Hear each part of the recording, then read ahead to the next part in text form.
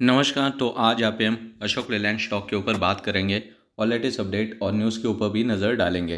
अशोक लेलैंड में काफ़ी बढ़िया मुँह देखने को मिले। पिछले चार दिनों में अच्छी रिकवरी देखने को मिले, क्योंकि स्टॉक के अंदर काफ़ी गिरावट देखने को मिली थी। लास्ट वीक में, पर इस वीक में स्टॉक ने अच्छी रिकवरी की है। पिछले तीन दिनों में स्टॉक गैप अप से हल्का सा ओपन होकर एक तेज़ी बना रहा है। आज भी वन परसेंटेज अब स्टॉक ने मोमेंटम किए मोस्ट इंपॉर्टेंट जो ब्लू कलर की लाइन जो है 200 मूविंग डेज़ का मूविंग एवरेज है उसको ब्रेक किया आज फिर से स्टॉक ने और मोस्ट इंपॉर्टेंटली 175 लेवल के ऊपर यहाँ पे ट्रेडिंग करा है क्लोजिंग मिलती है 175 के ऊपर अच्छे से सस्टेन होता है स्टॉक तो 180 100 185 तक जाने के चांसेस ओपन हो सकते हैं स्टॉक के लिए न्यूज़ की तरफ़ नज़र डालोगे तो रिसेंटली कोई खास अपडेट नज़र नहीं आ रही, पर अगर वॉल्यूम जो है और अच्छे क्वांटिटी के साथ आ जाएँगे तो एक स्ट्रॉन्ग मोमेंटम जनरेट हो सकती है और 180 लेवल पे लास्ट टाइम जहाँ पे रेजिस्टेंस लिया था वो लेवल भी ब्रेक हो सकती है।